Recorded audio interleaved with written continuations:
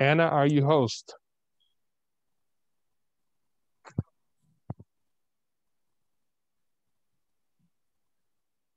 Okay, please make the other co-host. I'm okay, we're all set.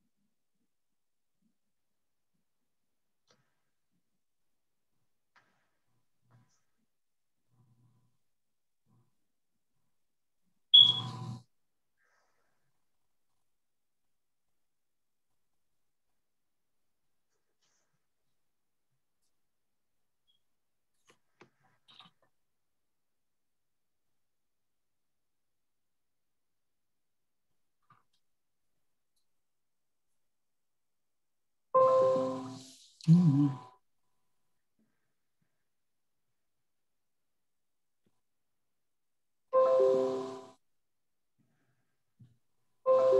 What is that? I can't make.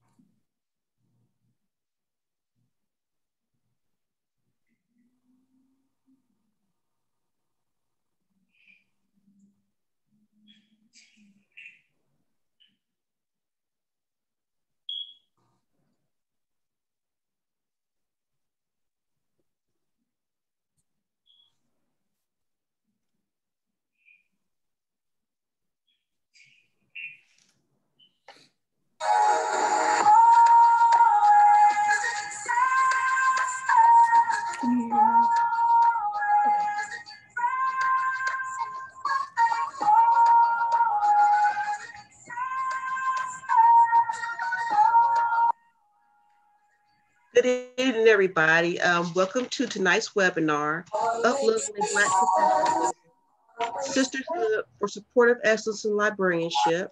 Tonight, our moderator will be Brenda Johnson Perkins, and Brenda is the um, BCALA Executive Secretary, and she is also the a librarian and adult services coordinator for the Baltimore County Public Library. Um, she received her MLS from the University of Maryland at College Park.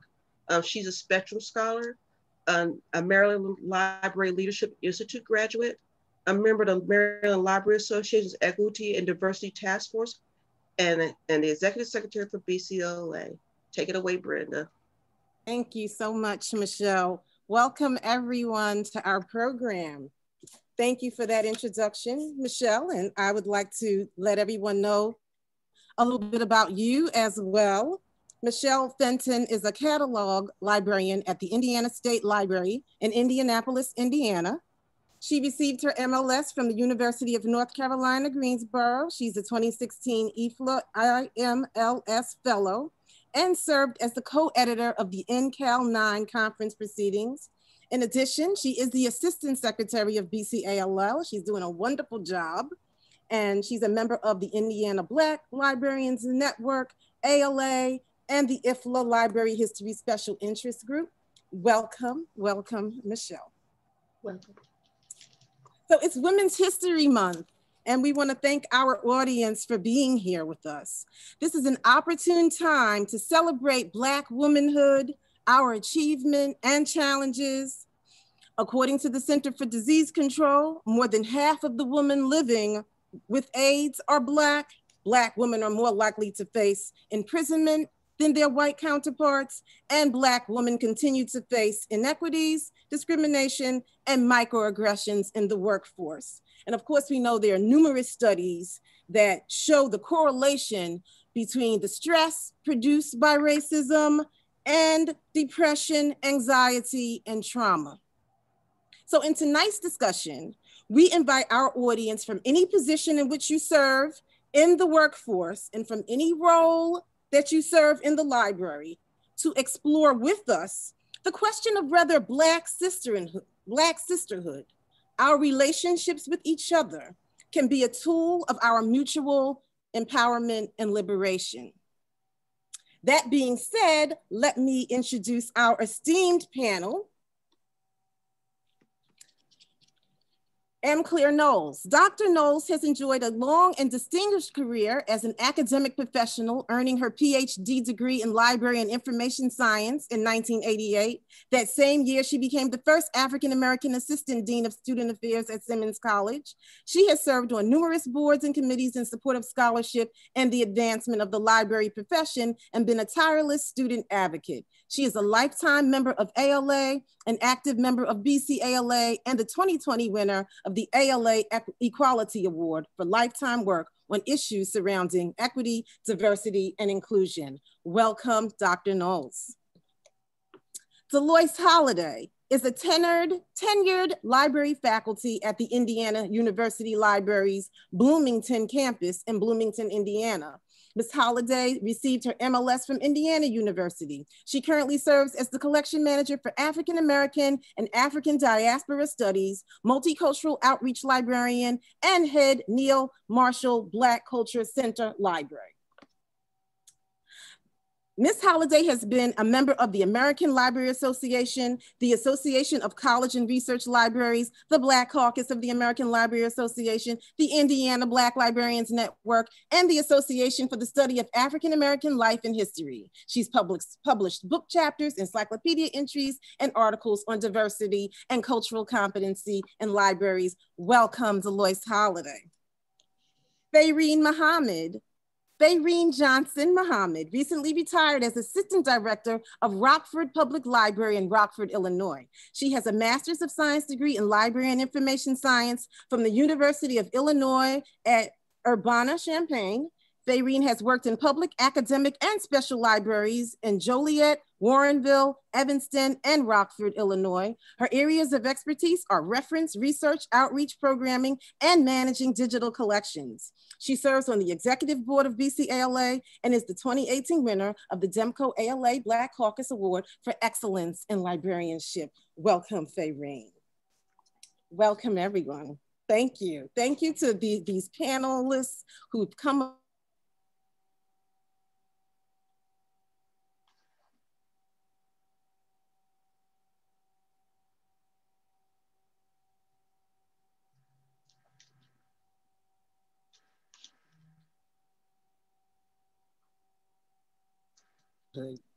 and just talk about it from your observations, from your history, from your live experience, from your beliefs.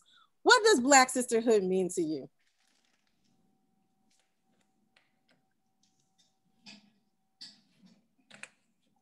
Em Claire, Mrs. Knowles. Sure, I'll be glad to start. Yes. Um, recently, I saw a, a, file magnet that actually showed uh, Michelle Obama and uh, Kamala Harris and it said Michelle's statements, I got your back.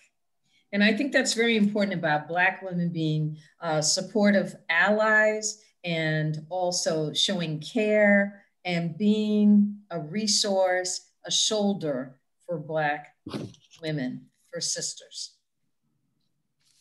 Yes, yes. Fayreen? Oh, sure. Uh, for me, of course, I agree with Em Claire and exactly what she said. Before that, thank you all so much for blessing me with this opportunity to serve on this panel among all of my mentors and mentees and all of these women that I've admired for I don't know how long. Thank you, it's exciting. So for me, Black sisterhood is treating other Black women as you would treat your blood sister and as you would treat yourself, wanting for them what you want for yourself. Mm-hmm. It's women who inspire, encourage, and empower each other.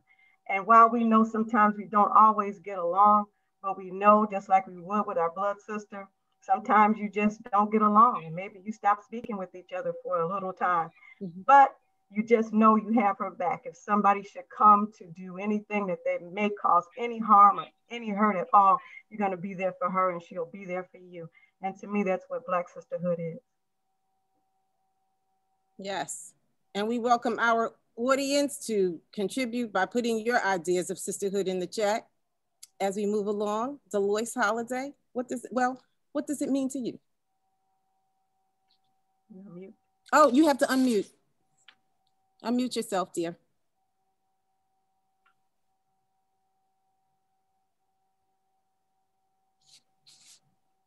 Wait a minute. Thank you so much. Um, there are some elements um, to Black sisterhood, I believe, um, and I think they include um, camaraderie that Black women have for one another, mm-hmm. uh, support in a number of ways, including uh, financial, educational, emotional support. Um, and as everyone else has said, having each other's back. Um, I think um, working to advance women causes and supporting women's equality in a man dominated society as well as in, um, in a white women's dominated profession. So Black sisterhood is women working together, helping and serving one another. Yes, yes, yes. And I and I echo that, Deloice, that it's definitely for me standing up for each other in a world that doesn't always stand up for us. Michelle, do you have a definition of sisterhood you would like to share? Yeah, um, any any any type of wisdom from life experience, passing it down. Because a lot of people, you, you can't learn everything in school. Sometimes you just have to learn from the those who came before you their life experience, their struggles, how they dealt with stuff. That's my definition of sisterhood. Love that. Love it. Thank you all um, for those wonderful definitions. And um, yes, we're, we're all speaking the same language when we talk about the levels of support and that we offer each other as Black women. And it's amazing that we have been able to do so in spite a challenging history. Um, we cannot discuss Black sisterhood without looking at how Black women and Black female bodies have been misused and maligned since the 18th century. And I would like um, Deloice Holliday to um, discuss with us um, the historical relevance and significance of Black womanhood in America. Okay. Um, well, first, first I'd like to give you um, a definition of uh, Black womanhood, my definition of Black womanhood. And I believe Black womanhood is accepting the responsibility of sustaining a race of people who have been oppressed and discriminated against since enslavement. It is the glue of our race. While Black sisterhood to me means um, it's accepting of your responsibility and membership into a group that will need to survive by supporting each other in a continued endeavor to achieve collective rights within a country that has not always accepted us nor given us a fair chance. And I, I paused there for a moment because um, has not always accepted us probably should mean have never accepted us nor given us a fair chance. Um, I would like to talk about um, Black women in in um, as as as Black women, we in America have had to stand together to survive in the United States.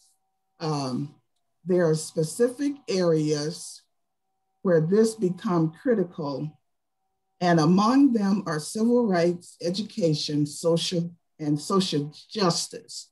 These are the three major ones, I think. And um, Black Sister, the Black sister that I want to talk about a little bit is um, Ida B. Wells, who who, who said, and uh, she was one of the founding members of the National Association of Colored Women.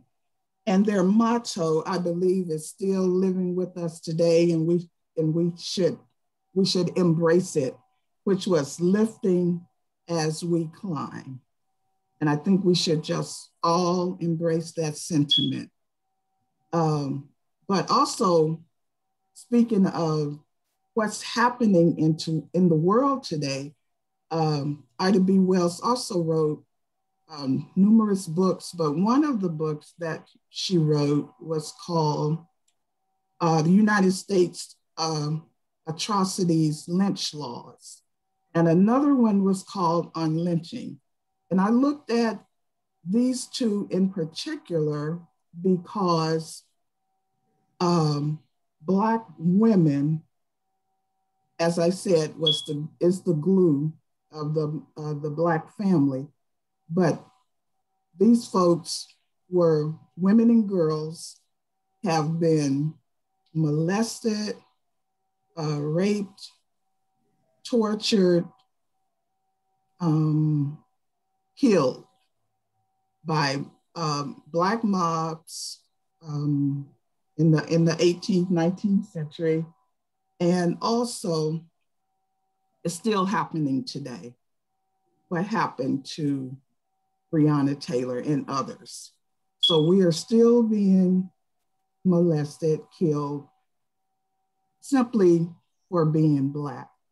I didn't want to take you back too far because I think we should just stay in a, in a little era where we can look at it within our time constraints tonight. But um, the lynching of Black people in, in particular Black women, and Black women had to stand together in these times, but um, the lynchings by white supremacists, just like being shot, these days by white supremacists. Um, most of these girls and women, it was a, an alleged crime, right? They were they were accused of poisoning the, the families. They were accused of, of, of, of stealing from the families. And these were all lynching offenses, right? And uh, I just couldn't uh, imagine being there. And, in, and the women who resisted the sexual advances of these white men, um, or also um, these alleged crimes were political activism, uh, such as registering the vote. These people were killed for that. Organizing labor um, uh, movements and labor laws and labor uh, equity. Sassing white men was a, an offense. And of course, resisting their sexual advances. Um, these, yeah.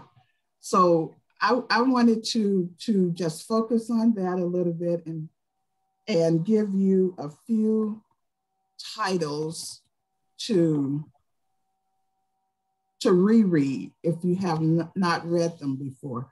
So the United States uh, atrocities, lynch laws, on lynching. Uh, my good friend and colleague uh, Audrey McCluskey wrote a book called A Forgotten Sisterhood, Pioneering Black Women Educators and Activists uh, in the Jim Crow South. And in this, she mentions Mary Church Terrell, Ida B. Wells, and others who, who, um, who, who uh, brought women together and lifted them up uh, some of the things that uh, women were, these groups did, some of them were called clubs and some of them were called associations. But primarily what happened was these sisters provided training and scholarships. They built libraries. They offered daycare for children of working mothers. They offered housing for single working women who were who were not allowed to live at the uh, segregated YWCAs. So mm-hmm. uh, going back to the uh, turn of the century, um, we, we just focus and look at those sisters and try for ourselves to look at them as mentors and try to emulate what they did so many years ago. Thank you. You're so welcome. Yeah, so we have come from a legacy of pain in which we have rose above it to show our strength and show our unity with other Black women. Um, so it's very important it's to, to know where we came from so we can understand why we struggle with the concept of sister, sisterhood today. Um, under slavery, not only were we forced to maintain slave capitalism by birthing children into slavery, we also endured a system of oppression that separated Black women from our biological mother, sisters, children, and other Black women based on complexion, which has fueled colorism that exists today. And all of the oppression has colored our our movement through society today. We can we can understand the lasting impact of, of black female oppression on us social, socially and psychologically. So let's explore this landscape that we are navigating within more specifically mm-hmm. in modern times. Mm-hmm. I would like to ask the participants and the, and, and the, the audience and the panel to brainstorm the challenges that Black women face as library professionals in all areas and levels of the profession and in the professional world in general, wherever you may listen, be listening from tonight. What are the challenges that signal the continued need for Black sisterhood? What is happening to us at, in the world of work? What are we experiencing? And I'm, I want the audience to answer that question in the chat. And, and Michelle Fenton is going to share some of your the items. And I also want us to discuss it as a panel.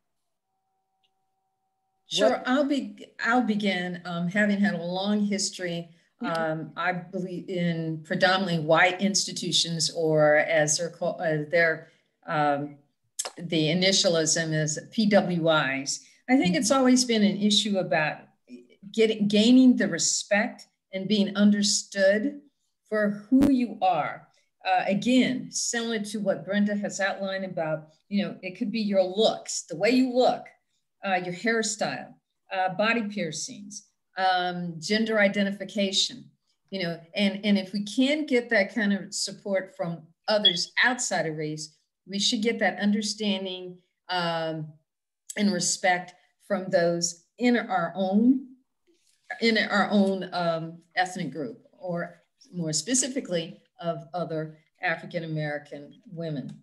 And I would say that the best way is how we challenge that is that we meet with other Black sisters who work, whether or not they're other professionals, whether or not they're other workers in the library. You want to make sure you have a bond uh, with other Black sisters in, the, in your work community. And it's so important to have that because you never know what some other white librarian may have said in front of a uh, library paraprofessional and who could come back and share that information with you. That's mm-hmm. why it's a, it's a bonding opportunity. Um, and also for the professional librarian looking for other opportunities to raise up um, mm-hmm. to library paraprofessionals. Uh, I think when you have the opportunity, think about nominating other sisters for mm-hmm. opportunities to work on committees. Uh, just recently, uh, I was just reading about Senator Duckworth, who's an Asian American from um, from the Midwest, and how she stated after the uh, hate crimes on Asians, she said, unless there's going to be uh, other candidates of Asian Americans, I'm going to vote just for Asian people. So I'm not, I'm willing to support President Biden, but you got to show me that there are other capable uh, Asian candidates. And I think we all have the responsibility mm-hmm. to make sure that we support our candidates who are of African descent, our sisters, as they're looking for opportunities to move up into the library profession, up in the library, uh, up in the you know in a larger community. Mm-hmm. always think about how you can support each other. And i guess we have to regain as black women blacks as sisters we got to be, remember how to be confident in front of others and we have to gain that support from other people saying you got a strength build on that strength you know always encouraging each other and lifting them up, as we've heard um, our former speaker has said. Yes. Um, so you touched on a lot of difficulties that we're having. Um, one of them is the the um, difficulty in just being yourself at work, in terms of wearing your hair wrapped, wearing natural hair. Um, what other specific challenges are we facing? Are we, I mean, I have experienced a lot of things in my 21 career. Uh, and um, yes, it has, it has at times challenged my sense of self and my sense of self-esteem when I'm at the information desk and a customer comes up and I'm the black librarian, but the white customers are all going to the white librarian, or they're coming to me asking, where is the librarian? I need to speak to a librarian like the kinds of assumptions and that have been made. It has been painful. Um, I just want to add, okay, I've been in the profession for 46 years, really almost 48. Mm-hmm. And those same questions I had too, way back when. when I was the young Black librarian, the white male librarian could have been my father sitting next to me and, you know, had the same questions. Where's the librarian? Or when the Black questions came up, like, what's the date of Martin Luther King's Jr.'s birthday? That was the Black question. It's like anybody could have answered that question. Exactly. But that was the Black question. Right. At Indiana University, um, reference desk often, you know, because we have the library program. Uh, for years, we had a library school, but now we just have a library program within the School of Informatics. Mm-hmm. But I would be at the reference desk, and I'm the only professional librarian at the desk. And when the students would come, they would go to the student, the student employee who's training with me to become a professional librarian. And often those um, white students, male or female, would have to say, you know, they would defer. You need to speak with Deloice because she's the librarian. But they would almost always, and I'm from a PWI as well. And so almost always they would go directly to that white um, professional at the desk instead of the, and I know, and we often would have our name tags on with with librarian yeah, on it, but does make a difference? Yeah. so yeah, that's that hasn't changed. That was, you know, um, I'm I'm a little bit uh, less than you, uh, Em Claire. I uh, for me, it's been 27 years, I think. And, and, and within that whole 27 years, it's been that way. Mm. Fayreen, you were going to say something? Yes, I was going to say the more things change, the more they actually stay the same. And in all of my years too, and I probably have been almost 20 plus years, my experience at the desk, of course, has been the same as you have said now. But in addition to that, sometimes when people come to the reference desk and they ask a question clearly directed at me, my colleagues will almost dive over to the other side to take the question. And sometimes the people will say, well, I'm asking this librarian, you know, they'll kind of point their face toward me to answer the question.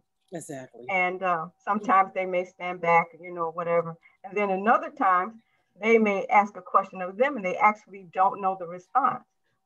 And then I will respond with the answer. And then later on, and I've actually had one colleague who apologized. Well, I'm so sorry. I thought that was something that, you know, I could answer. And I apologize for intervening in the transaction. It's that's that's a microaggression. It's a microaggression. And that's why I said these things yeah. are still happening. And that just strengthens the reasoning for us to empower each other, and to stick together, to work together, and to share these kinds of things. And one other thing too is to reach outside of the library because there are other people of color and other professions that you can join with in your community. In my community, you know, it's not that many of us here in the whole city. Mm-hmm. So it's easy for us to network together. And we do. And we share our time together. We talk about these types of things and experiences that we have in all of our different uh, fields. And then we also get together to have fun and support each other because self care is very important as well. Yes, it can be really stressful. Michelle, did you have something that you wanted to share just about negative yeah, challenges? Um, yeah, I remember when I was in library school, we would, in some of our class work, we would have to get together in groups and we would talk about something. I know me and some other librarians, library students of color, we would say something and sometimes whoever the group would just just ignore us like we didn't even say anything. But fortunately, you know, we just kept speaking up, and then other people in the group noticed and say, "Hey, you know, Michelle said something." You know, just dealing with that at the library school level already. Mm-hmm. There is a certain sense of invisibility, especially when you contribute an idea and no one says anything, and then a white person says the very same thing and people are congratulating the person. Oh, that's a great idea. And it's what you just stated. And don't give you credit for it. you know, it would be better if somebody at least gave you credit. And that's what we have to remember about our, our sisters and, and our brothers too. When, they, when somebody says something, always remember to give them credit. Again, it's about lifting them up to let them know it wasn't just your idea. Mm-hmm. Or be, you got to speak up, show confidence. I said the same thing and you all didn't listen to me. Well, you know, I, will just share real quickly that once, and, and I can't even remember what it was now, but I had a brilliant idea. I talked it over with my supervisor, right? And she was like, oh, that's a brilliant idea. We go to our um, meeting, right? The librarians meeting once a week, or yeah, once a week. And she presented my idea in that meeting. And I was shocked. And and and I and I called her on it. I said, no, that was I, that was my idea. And she told me, um, uh, you cannot copyright an idea. She said, you cannot copyright an idea. You can't, you know, yes, it was your idea, but she didn't even give me a chance to present it. She she just mm. jumped the gun and presented it before I did. And so I don't know if that was a microaggression. That was just like mm-hmm. it was, it was, yeah. Thanks. So. It was huge. it was. Wow. So, so she just took my idea, you know, and I just and I told her, I was like, well, you can have that one because I have many more. Good for you. But I mean, yeah. It, it does it does work on you and it is stressful and it causes a sense of of self-defeat of to when the incidences are happening in different ways over and over and it's almost like you are questioning yourself did that really happen? You know so i think that's where we come into the yeah. sisterhood too to be validated that yes it did happen and it was racism and it's wrong. So to have someone to validate you is, is extremely important as well. Mm-hmm. so moving on um, do we have anything in the chat yeah um, a participant said that she says that she has had her white assistant to sabotage her efforts of building community programs. Mm-hmm. And then I see another person said that um, it's actually a question. Um, when you experience microaggressions in a white space, things that mess with your emotions, how can you keep a level head when things like that happen? And then let's see, anybody else say anything? I, I would like to say to that one, you everybody has emotions, and if need be, and I have done it, I've gone to somebody, called somebody on the phone, say, "Can we meet on campus?" Because I need to holler, I need to cry, and then you know help them to develop a strategy to go back mm-hmm. and and deal I hate to say level-headed, but you know, dry-eyed, perhaps that would be a better mm-hmm. way of seeing. Dry-eyed, go back and defend yourself. Right, because and some and one more other thing, sometimes we need to find white allies to, to uh, pull their coattail to say, you know, what you said or what you did was an, was um, an, it was a um, inappropriate um, act act against a black sister, you know, or mm-hmm. against you. Yeah, we have one more. Um, somebody wrote, um, this is a very important topic for Black females. How do we begin to teach Black women to understand the importance of respecting each other and lifting, lifting up rather than fighting against each other? Well, that's a very good question because it I, us to our again i would say we have to recognize you know what's happening is that we don't all have black women don't all have the same historical um, background anymore uh, having mm-hmm. lived in mm-hmm. in massachusetts i had to learn that you know there are african americans um, there are newly arrived africans there are Caribbean people whose experience are different and they relate differently. And this is how you learn how to get to know each other on an individual basis. Take them out to coffee. Just find out what their background is. Is this going to be an ally? Also, remember, as much as we, we want to believe everybody is in our corner, is our sister, they may not be. We have to pick and choose who are our allies, who are our sisters, who are our brothers. Mm-hmm. So, but there, there is, there is a, a lot, a layer of mistrust that I think comes out between Black women because competition. Yeah, let's talk about that. Let's talk about what are some of the the manifestations of racism that we're seeing come out, come come to play in terms of our relationships to e- to each other. What are we seeing in the that that's happening between us? Um, um, what is what are what factors are preventing black women from being sisters to each other what is keeping us apart and i think competition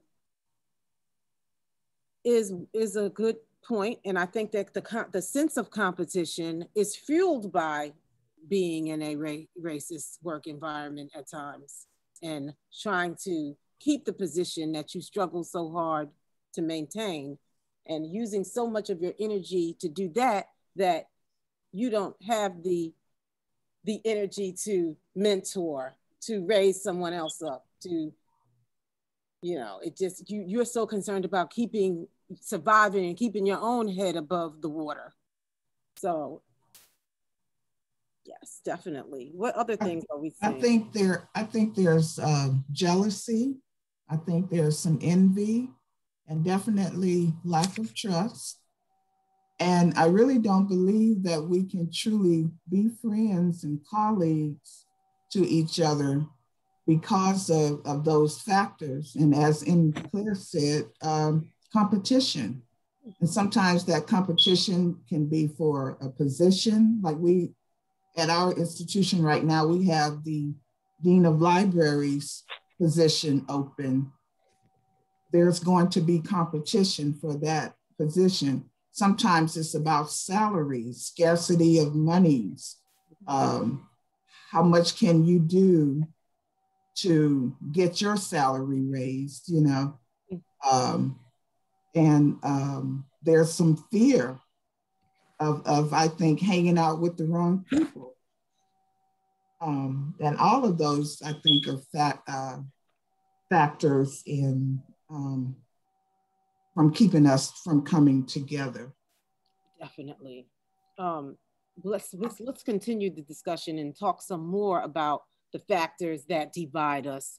But mm. uh, in the meantime, let's, let's go to a survey question for our audience to assess the role of sisterhood in the lives of the audience members.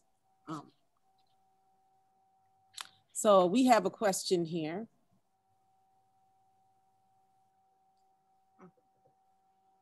Is sisterhood, and by sisterhood we mean bonding and support with women outside your biological family, a reliable active force in your professional life?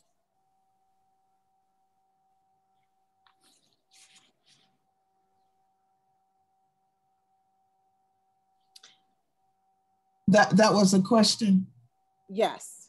Yeah. Could you repeat? well, it, it, it, it's a question for us to um to think about, but mm-hmm. this is a question that we're just asking the audience. Oh, okay. Is sisterhood bonding and support with women? That's bonding and support with women outside of your biological family. That's that's a quick definition for sisterhood. Is that a reliable, active force in your professional life? Are you using the concept of sisterhood to move forward in your professional life?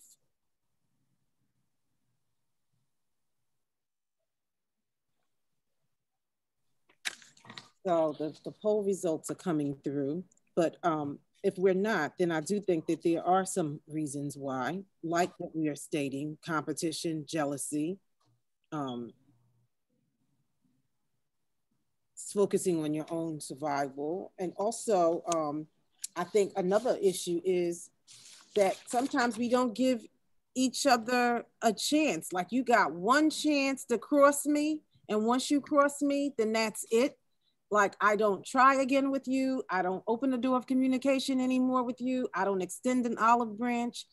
And I think that sometimes we can just be too severe and critical, maybe. I agree. With I, I would like to address again about the whole issue about competition mm-hmm. and the one chance. Mm-hmm. For competition, I, I think it's so important to go to our sisters and say, I'm not in competition with you, if it's possible. You know, mm-hmm. thinking about um, what I would try to do with my staff and colleagues um, at, at Simmons University was to find opportunities to nominate them for awards. Mm. Uh, and I think we don't do enough of that. And I think even in the BCALA has had, you know, at times we hear the announcement for awards here and people don't forget about it, you know, because it's sort of like something, I want somebody to nominate me. Well, why don't you think about nominating somebody else? Exactly. Um, and I think that is really important. Say, I'm finding your strengths, and I think it would be good for you to get this award personally, but also it brings um, it, brings pride and uh, for and uh, for our library, for our library school. You know, so those are the ways that we can get away with it. Is when people say, "I'm looking to support you in various ways," so that you see, I'm not just in competition with you. You know, I'm in competition with the world for the betterment of our team. Um, about the other statement, now I'm of age. I said I was going to talk about the second topic. You don't have to remind me. What was I going to talk about? Um, about um, extending giving, the olive branch, giving that second chance. Giving that second chance. Okay.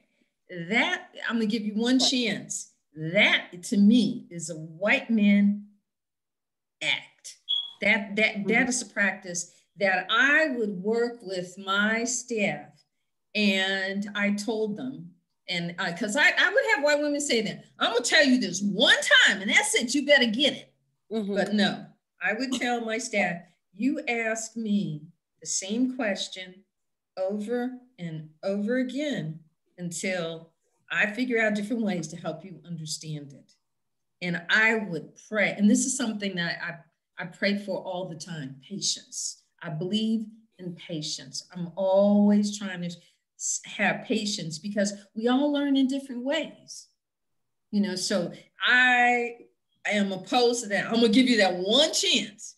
No, you know, I might give you, and about, I'm gonna tell you, I've had to let people go. In other words, exclude them from the LIS program, fire people from my staff. That, you know, it's like I gave them several chances. But I mean, if it's learning about a digital task, uh, you know, it's it's something that we do every day. You know, I, I usually say, well, you know, just ask me because we only do it like once every three months. The problem, right. you know, the task that someone needs help on. You know, so I think we need to change the way we work with people. That is how we overcome uh, doing things because it's the way the white folks do it. Absolutely. We have our poll results. Yes, we do. Um, basically, in regards to the question, 86% of the people who voted said yes, that they do see that sisterhood bonding and support women outside your biological family as a reliable active force in their professional lives, and 14% said no. Okay, interesting. Mm-hmm. So, so yeah, racism. These things are divisive. How can we subvert it? What? How can we leverage sisterhood? Let's talk to that 14%. What can we do to leverage Black sisterhood in the workplace We've talked a lot about different things that we can do.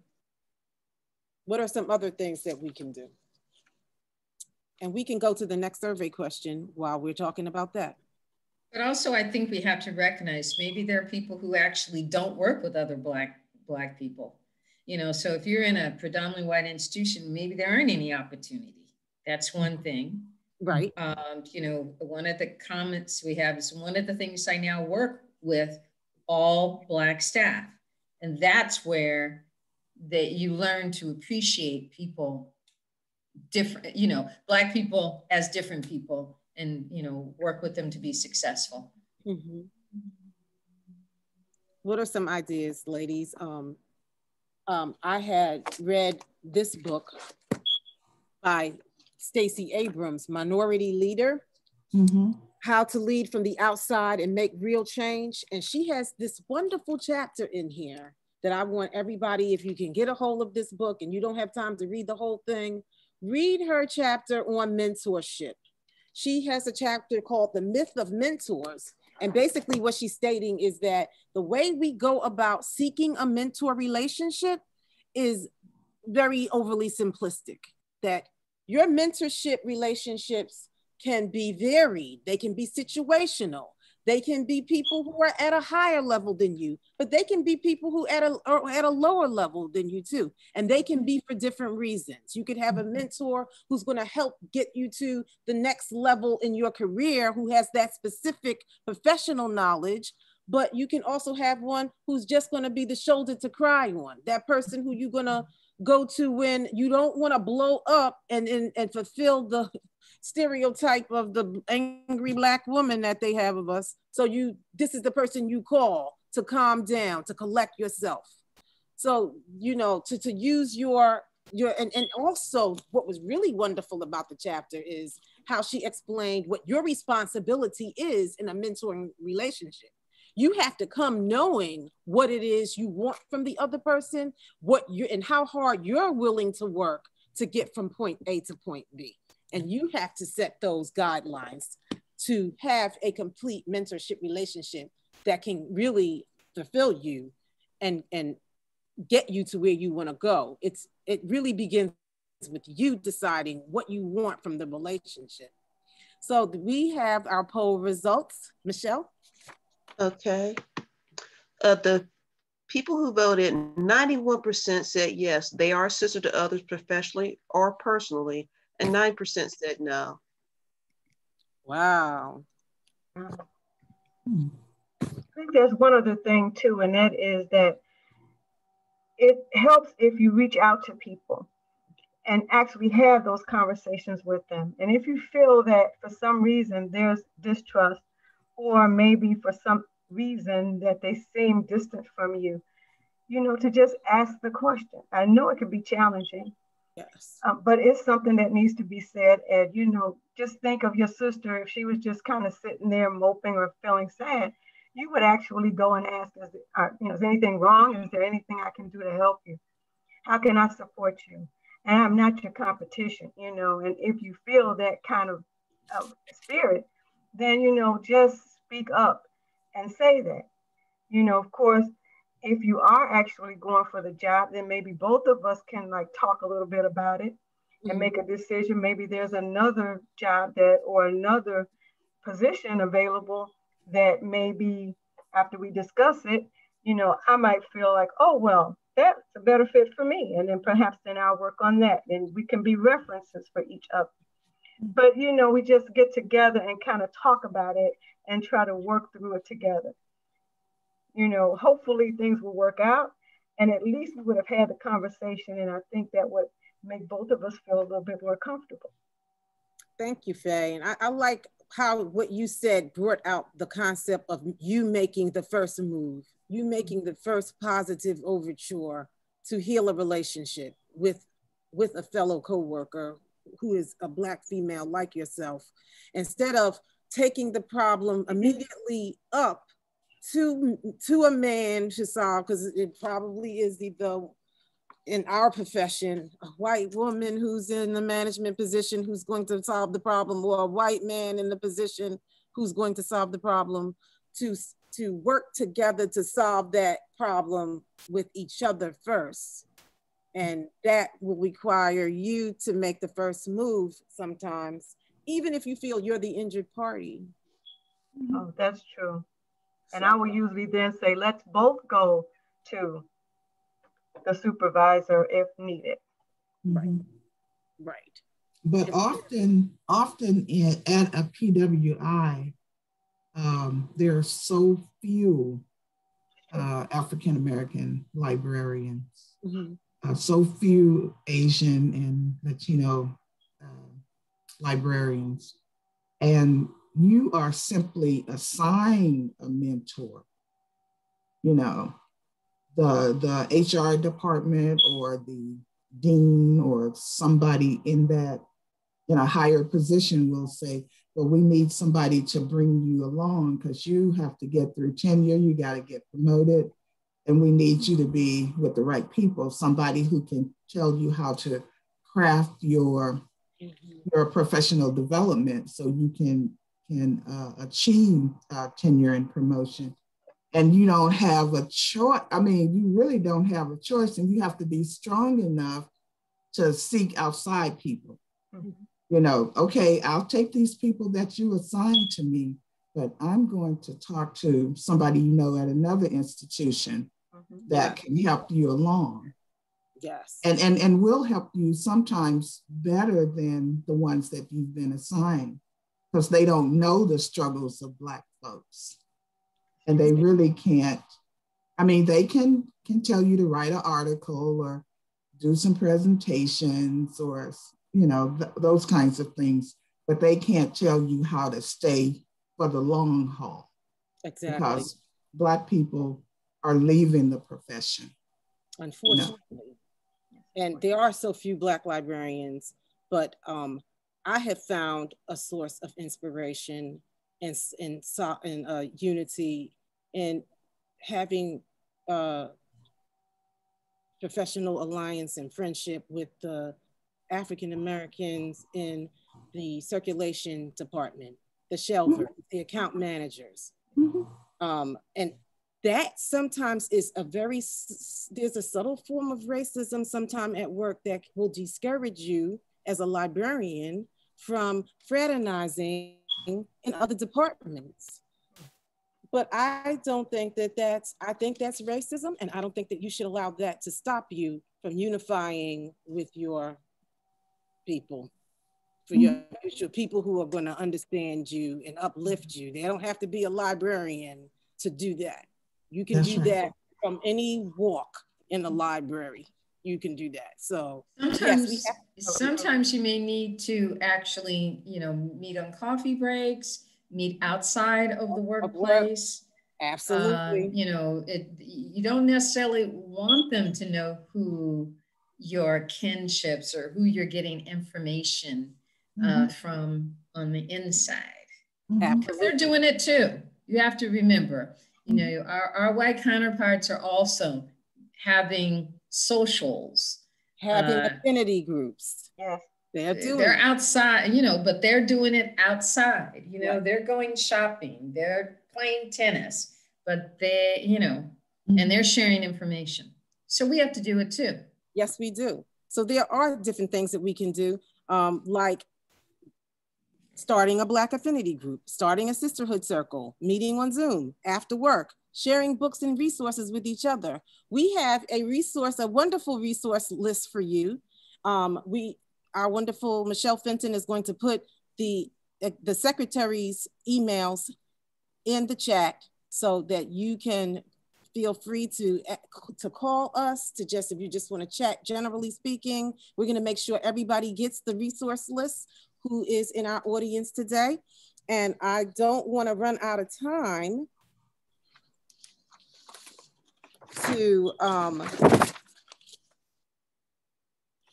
so we have shared the poll results that most of us are being sisters to each other personally and professionally which is a wonderful thing. We hope that the resource list will help you to even further your efforts to do that and to overcome obstacles that you're facing um, in bonding with each other to up level your careers. Um, and we have promised you all a surprise mystery sister. And I just would like to take the time to introduce her to you. Our mystery sister is a New York best-selling author and the recipient of the NAACP Award for Outstanding Work of Literary Fiction.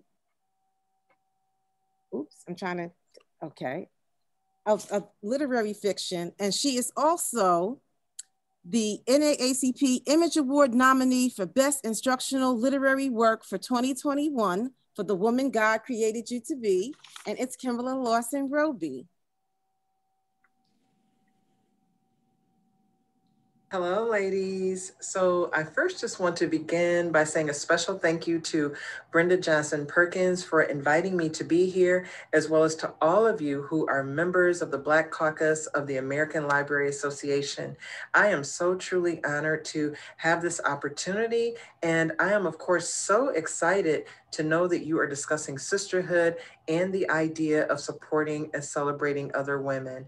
And so, to keep in line with your discussions and the conversations that you're having, I thought it would be good to share the three pieces of advice that I left with my listeners at the end of episode seven of my podcast, which is entitled Supporting and Celebrating Other Women. Um, my podcast the Woman God Created You to Be is actually based on the book that I released last year, which is entitled The Woman God Created You to Be Finding Success Through Faith, Spiritually, Personally, and Professionally. And so, again, I talk about this very thing of celebrating and supporting other women in the book as well as in the podcast. And my hope and my prayer is that these three pieces of advice will be helpful to you in one way or another. Number one, build confidence in yourself and work hard at finding your own success and happiness. That way, you won't have to feel bad when you hear about someone else's good news. You won't feel less than because truth is, feeling less than is the real reason people become envious or they begin feeling jealous in the first place. It also goes back to that old saying about how, in order to love someone, you must first learn to love yourself. And then, in that same vein, if you want to be happy for other women, you must also find happiness deep within your own soul. Because not only is finding happiness an inside job, it is also the only way you will ever find peace. But more than anything, if you don't find happiness and you never arrive at a point in your life where you can truly be happy for other women, you will continue to block your own blessings. You will struggle unnecessarily. So please make a conscious effort and a decision to be genuinely happy for your sisters who have found great success, and then work as diligently and as hard as you possibly can to create your own success and contentment. Number two, be loyal to other women. Being loyal to our spouses and other family members is a given, but we should also be loyal to our fellow sisters. We should be their loudest cheerleaders, and we should speak highly of them to everyone around us. Because while in the past, many of us may have been guilty of speaking negatively about other women behind their backs, or at least I know I have, it is as wrong as wrong can be. It's one of the worst things we can do but with God's help, we don't have to continue on that particular path. We can become so much better than that. We can become loyal to all women and begin loving them and celebrating them in the exact same way we want to be loved, celebrated, and treated. We can motivate them, compliment them, and remind them on a regular basis that not only are we proud of them, but that we will support them from the very beginning to the very end. And number three, encourage other women to be the best they can be.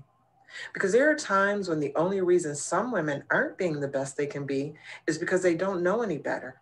Sometimes it is simply because no one has ever told them how to do things any differently than the way they've always always done them. Sometimes it may simply be as easy as you offering suggestions and recommendations that will help them in ways that they never even knew they could be helped. For example, if you see another woman doing well at something, but you also know that if she improved on, say, one or two minor things, she could be even more successful, then you have an obligation to reach out to her. Yes, it would certainly be easier to just critique her actions or words and discuss them with others when she's not around, you know, as I was saying before, behind her back, but that won't help her. Which is the reason you must take the responsibility of letting her know personally and privately about what it is she can do to become better. I will admit, though, that there have been times when I haven't always done this myself because not everyone can receive constructive criticism or they may not believe they need to improve upon anything at all. But when I know for sure that another woman wants to become the best she can be, I am glad to offer any advice I can. Because in the end, what we should want is to see that woman operating in total excellence. We should encourage her and lift her up a thousand times over. And we should feel honored about doing it. Because remember, when she wins, we all win. And that, in and of itself, should be reason enough alone to celebrate other women. And then finally, I just want to leave a scripture with you that relates to this topic. May we shout for joy when we hear of your victory and raise a victory banner in the name of our God. May the Lord answer all your prayers. Psalm chapter 20, verse 5, New Living Translation. So, again, thank you all so much for this wonderful opportunity. I am so beyond grateful, and I am wishing all of God's blessings upon each of you always.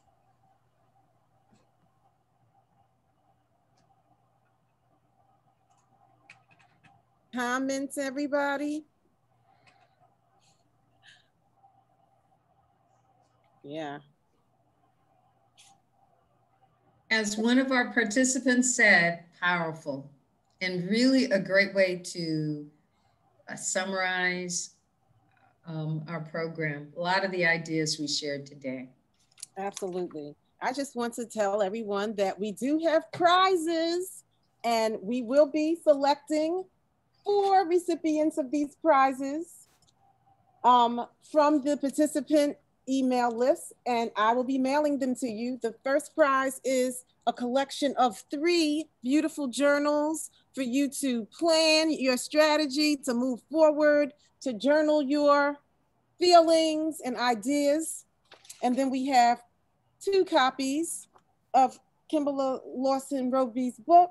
And we have this planner, a 12 month dated planner featuring these beautiful women from diverse backgrounds on the cover for you to use in planning your life.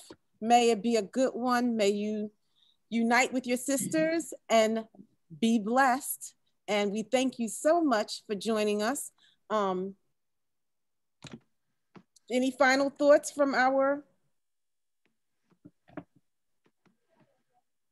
final words, Michelle? Turning it uh, over to you. Um, yes. Um, well, just, this is a very, very wonderful um, presentation tonight. Um, we had some great speakers, and we really enjoyed the audience because they had some really interesting questions that they put into the chat and to, in the Q and A. Um, and what what, uh, what the um, Kimberla Lawson Roby spoke that was very powerful words to live by. Um, are there any final questions or anything, or comments or anything? Well, thank you all. Thank you all so much for the opportunity to, first of all, be on the panel with all these wonderful sisters. I really appreciate it more than you would ever know. I just don't have the words. And thanks to all who participated and those who hopefully will be able to see this after it's over. And special thanks to Kimberla Lawson Roby for her presence as well. Love all of her books and just her spirit was precious. And she summed up pretty much everything that we talked about, which I think was awesome as well. And I say that we should just continue to be our sister's keeper and take care of ourselves and them also. Thank you. Thank you, everyone, and have a wonderful evening. Thank you so much. Have a wonderful evening. All right. Good evening. Thanks. Thank you. Good night. Good, Good night. night. Good night.